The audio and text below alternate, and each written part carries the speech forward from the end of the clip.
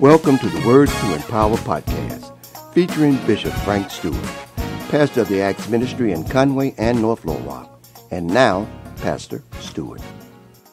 Well, welcome back to the Acts Ministry broadcast. We're in the book of Jonah, and we went over chapter 1 and chapter 2 on yesterday, how Jonah was trying to flee from the presence of the Lord and that is impossible. God is everywhere. Psalms 139 says the night and the day is the same with God. Doesn't matter where we are, God sees us. The Bible says man loved darkness because his deeds are evil. Well, when you realize that the darkness and the day is the same with God. To do it in darkness, God still sees it. To do it in secrecy, God still sees it. And it's going to be revealed It's going to be revealed. Every single sin must be accounted for, must be paid for. And if we did not allow the Lord Jesus to have that sin, give our lives to Him so His blood can wash away that sin, then we'll have to pay for our sins. And the Bible says the wages of sin, the cost of it, the price of sin, is death. Here's Jonah. The fish regurgitate Jonah. He gets on dry land. Wow. Being in the belly of the whale for three days. Now Jonah's out of the belly of the whale and he has a new attitude. He's out of out of the fish's belly. The Bible says the journey that was supposed to take three days, the city of Nineveh, three days, whether it's three days across or the city of Nineveh or three days to Nineveh. It was going to be three days. Jonah did it in one day. See, God knows us. He knows us. He knows everything about us. He knows what we're going to do. So sometimes we think we have arrived late, but since God is omniscient, all knowing, He knew how long it's going to take us to get ourselves together. So God has factored all of that in. You know, sometimes we worry about, well, I'm going to be late for this and be late for that, and I'm behind on this, I'm behind on that, and and many times when we're not careful. Satan gets into that. He gets into that, and what happens is that he causes us to move when we shouldn't move, or he causes us to rush ahead, and destruction comes uh, meaning right, good intentions, but bad action. You think, well, he spent three days in the belly of the whale, he's three days behind. Well, it was a three days journey. He did it in one day. God knows how to make it up because he knows us. He knows us. Let me say it like this so we can all understand it. God knows how many years you're going to act a fool. So when He has a destiny for you, He didn't factor all that in. So when God gets through with us, if we do not resist the chastening of the Lord if we don't fight against what God is trying to do. Because what Jonah thought was punishment was really deliverance. Because if you hit that water without without the fish swallowing Jonah, he drowns. So if we don't resist what the potter is trying to do in our lives, and that is what we talked about. Jeremiah went to the potter's house. The potters were forming a vessel on the wheel. God is doing something in our lives. God is up to something. He's He's forming. He's shaping our, our lives. So He knows how long it's going to take for us to get ourselves together. And he got all that factored in. He didn't in our craziness, our, you know, our, our stupidity and all of that. So as long as we don't fight against God, we will end up being on time if we just surrender to Him. You never go outsmart God. So in chapter 3, here's Jonah. He, he goes and he preaches in the city of Nineveh. And guess what? When he's preaching in the city of Nineveh, the Ninevites proclaim a fast. And not only a fast for them, they proclaimed a fast for the animals and everything there. Now, listen to this. And he calls it to be proclaimed and published through Nineveh by the decree of the king and his nobles, saying, Let neither man nor beast, herd or nor flock, taste anything, let them not feed nor drink water. Now, this was for three days. Three days. Because what Jonah said in 40 days, Nineveh is going to be destroyed. So they went down in sackcloth and ashes, or they repented the evil that they'd done. They had asked God for forgiveness and wanted God to forgive them. So now here's the city of Nineveh. Uh, this great revival takes place because of Jonah because Jonah goes in and preached the word of God, and now everything in the city is turned upside and upside down. The people have a heart for God. They are fasting, they are praying, they are seeking God. In Jonah chapter 4, verse 1, verse 1 says this But it displeased Jonah exceedingly, and he was very angry. I want you to see this. This is an incredible lesson to learn here from this great holy prophet, man of God. He's angry, he's upset because Jonah is still human, he's still in the flesh. And now, what has happened in the whale's belly has worn off. Isn't that just like us? Isn't that like us that certain things happen and we're ready to give our lives to God and, and never look back because somebody died or we escaped death or whatever? Now we're ready to run for Jesus. But when that wears off, what is he saying to us? The one thing we must understand is that fear fear can never be the foundation of a relationship. It must always be love.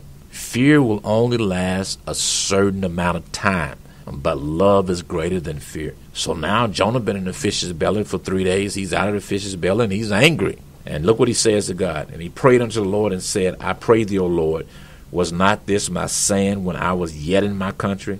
Therefore I fled before unto Tarshish, for I knew that thou art a gracious God, merciful, slow to anger, and of great kindness, and repentest thee of the evil. Now, now, Jonah said, I know who you are. That's something that seemed like he should have been happy about. Because we all want God to be gracious to us. We want God to be merciful to us. We want God to be long suffering, slow to anger. We want God to have kindness, and we want God to to bless us and, and, and not destroy us. But see, Jonah's looking at it. He wants that for himself, but he doesn't want it for the people of Nineveh. Now, there's many things that we can see that he felt like the Ninevites, they were a wicked nation. They were a wicked nation. They deserve to be punished. This is what Jonah is thinking. But think about it. Let him that is without sin let him cast the first stone. Let him cast the first stone. So Jonah wants them destroyed. I guess he had forgot about him rebelling against God. He wants the Ninevite destroyed. Stay tuned for more of Frank Stewart. And now for some special announcements. Thanks for partnering with the Acts Ministries. We value your service and your donations. That's why we've made it easy to make contributions to support our ministry. Simply go to your web browser and click the search bar and type in actsministriesonline.org. Then click Donate Online. It's really that easy. For mobile giving, text the amount you wish to donate to 501 302 4242. That's Simple Give. And now, more of Pastor Frank Stewart. It's amazing how self righteous and self condemning we can be, even as the vessels of God. This is the man of God. This is a prophet of God. Now, now watch what he says. Watch what he says. He's upset because he wanted God to destroy these people.